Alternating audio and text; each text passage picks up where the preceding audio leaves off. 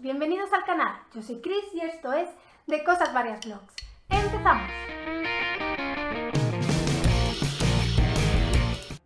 El 15 de julio de 1976 en Chowchilla, California, tres hombres armados secuestraron a 26 niños que viajaban en un autobús escolar y a su conductor. Los secuestradores los sepultaron vivos bajo tierra dentro del remolque de un camión y después se dispusieron a exigir el rescate. Al día siguiente todo el país estaba pendiente de la desaparición de aquellos niños y del conductor del autobús. Más de 40 años después, este crimen sigue atormentando a las víctimas del mayor secuestro en grupo de la historia de Estados Unidos.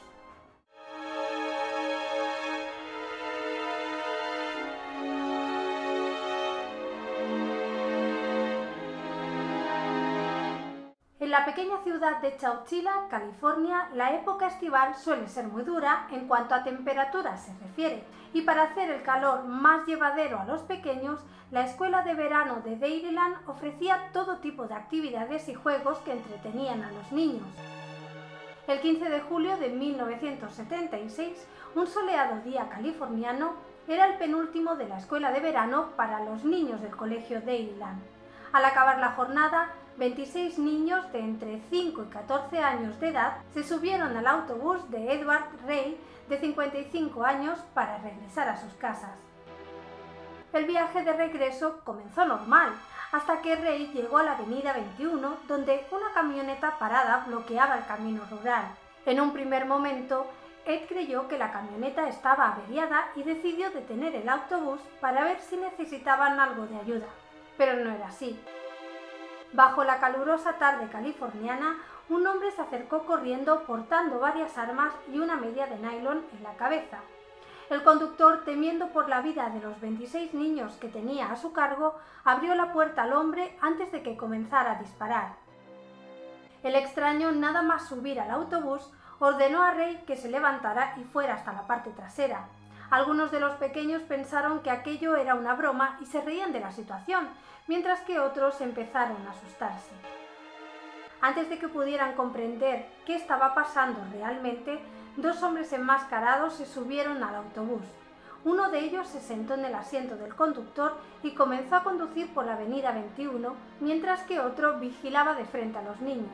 El tercero se bajó y condujo la camioneta blanca con la que habían obstaculizado el camino. Tras unos minutos en carretera detuvieron el autobús en una zona desértica.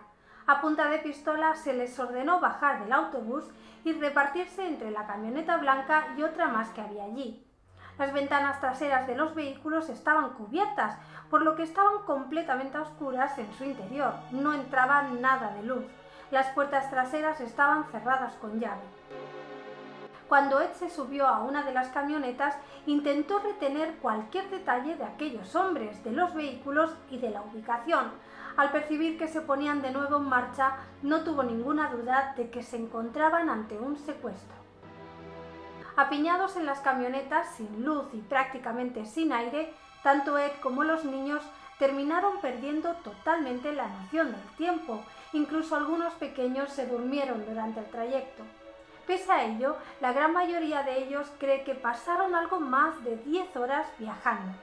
Más tarde se pudo saber que en realidad las dos camionetas salieron de Chowchilla y después de dar diferentes rodeos, condujeron finalmente hasta Livermore, una ciudad a más de 100 kilómetros al noreste. Cuando llegaron al destino, los niños estaban hambrientos y algunos de ellos se habían hecho las necesidades encima durante el largo viaje. Para colmo, nadie sabía qué podía esperarles ahora. Al salir de los vehículos, lo único que pudieron ver es que se encontraban en un solitario descampado. Se les ordenó que cada uno dijera cómo se llamaba, se quitara el calzado y bajara por una escalera que sobresalía del suelo, la cual parecía conducir a un recinto cerrado. Mientras tanto, los padres de los niños desaparecidos, al ver que sus hijos no llegaban a casa, comenzaron a llamar a la escuela. En un principio se creyó que posiblemente el autobús se hubiera averiado por el camino, así que funcionarios condujeron siguiendo la ruta de Ed, pero para su extrañeza, el autobús no estaba estacionado en el arcén ni tampoco lo habían llevado a reparar algún taller mecánico. Aunque no encontraron ninguna pista que les dijera qué podía haber ocurrido, en las primeras investigaciones las autoridades comprobaron que Ed había conducido sin ningún problema hasta la avenida 21. Allí el autobús parecía haberse desvanecido sin dejar rastro. Varios aviones sobrevolaron la zona en busca de alguna pista, mientras que cientos de padres peinaban toda el área a pie y por fin dieron con el autobús a unos kilómetros al oeste de la ciudad en una rama poco profunda del río Chauchila. Estaba escondido cubierto de bambú y matorrales. Sin embargo, para horror de los padres, el autobús estaba completamente vacío y no había señales ni de Ed Rey ni de los niños. El FBI llegó esa misma noche al lugar. El suceso era cuanto menos extraño, un autobús vacío, huellas de neumáticos que se alejaban de la zona, pero nada más que pudiera indicarles, ni siquiera signos de violencia, dónde podían estar las 27 personas que habían desaparecido. Y para entorpecer más las labores de búsquedas, estalló una tormenta que borró casi por completo cualquier posible evidencia.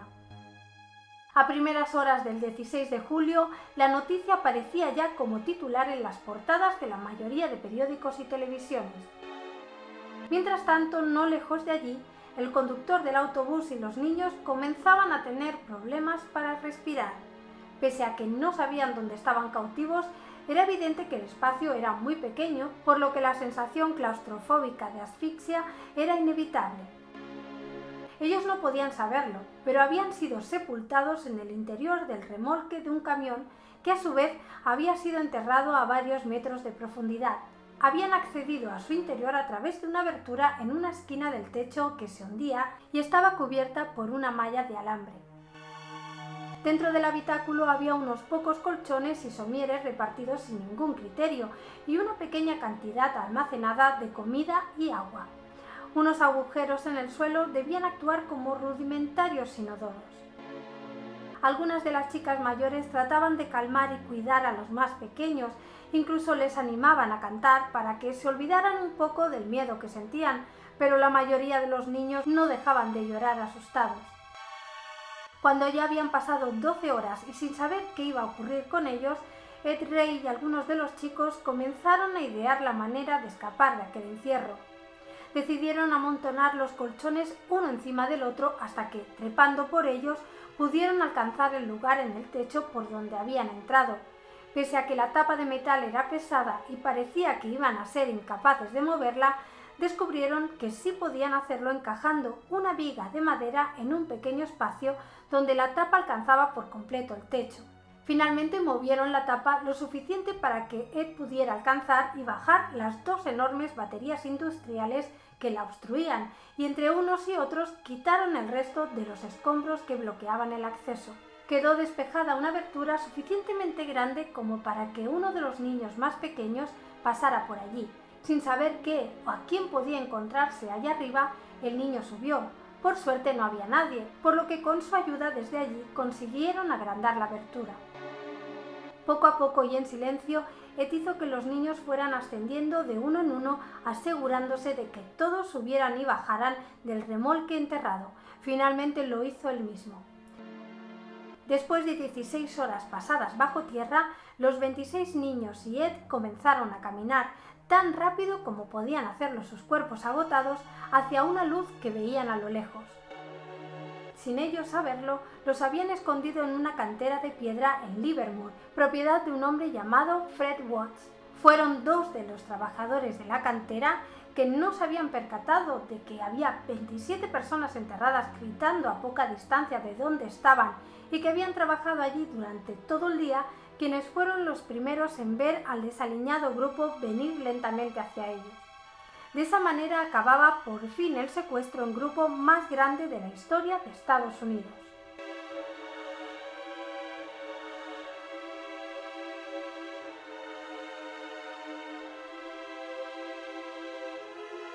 Los servicios de emergencia se hicieron cargo inmediatamente de atender a los rehenes, mientras el FBI trataba de dar lo más rápido posible con los criminales.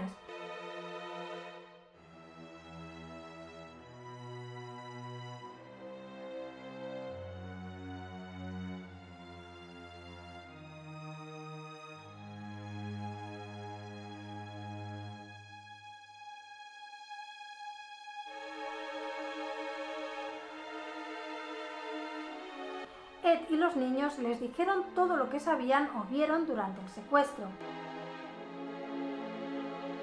Pero el nombre del dueño de la cantera resultó ser clave.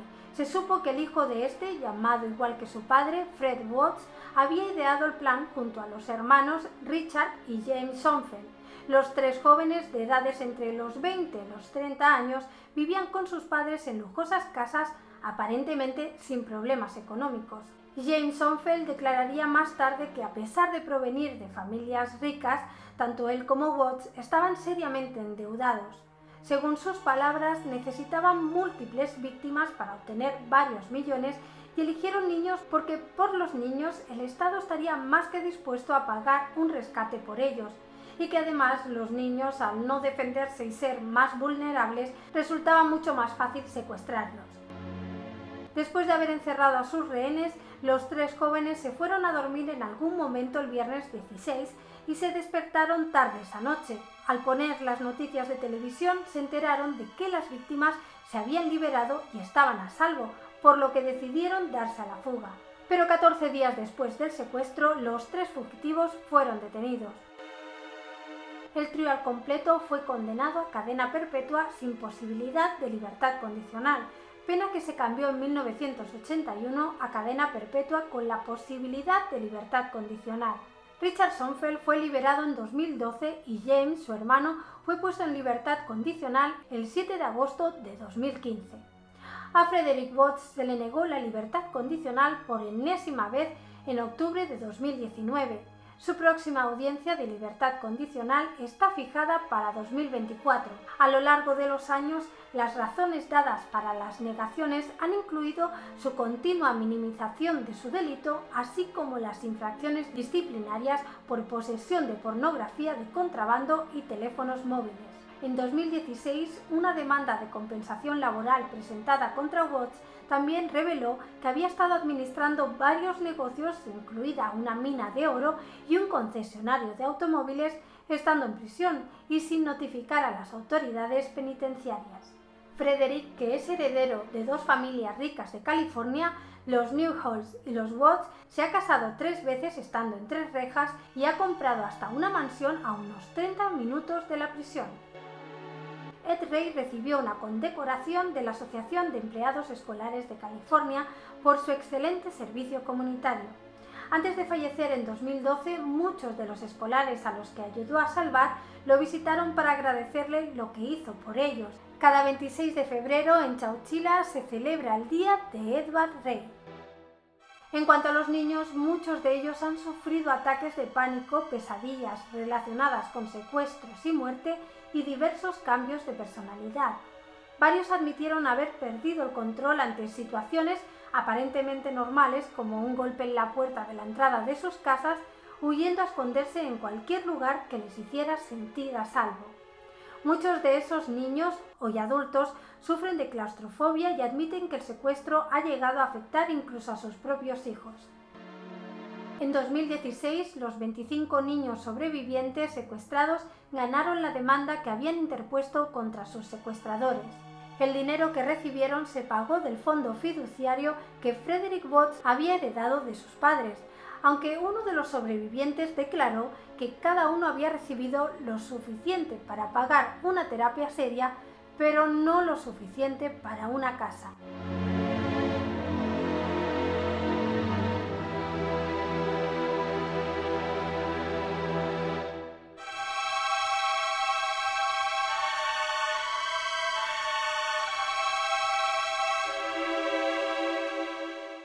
Y hasta aquí el vídeo de hoy. Posiblemente sin la ayuda de Ed, el conductor de autobús, el fin de aquellos 26 niños hubiera sido totalmente distinto, hubiera sido otro, pese a que los tres secuestradores dijeron en el juicio que no tenían intención de hacer daño a los niños, obviamente el encerrarlos de aquel modo fue extremadamente cruel por su parte. Y es evidente que el bienestar de sus rehenes, de los niños del conductor, pues no les importaba nada. En fin, ¿qué te ha parecido esta historia? ¿Conocías el suceso? No olvides dejar en los comentarios tu opinión. Y bueno, ya sabes, si te ha gustado el vídeo, deja tu like, suscríbete al canal si todavía no lo has hecho y comparte este vídeo con todos tus contactos. Sin más me despido, muchísimas gracias por estar ahí, de verdad, Un abrazo enorme y nos vemos en el próximo vídeo. ¡Chao!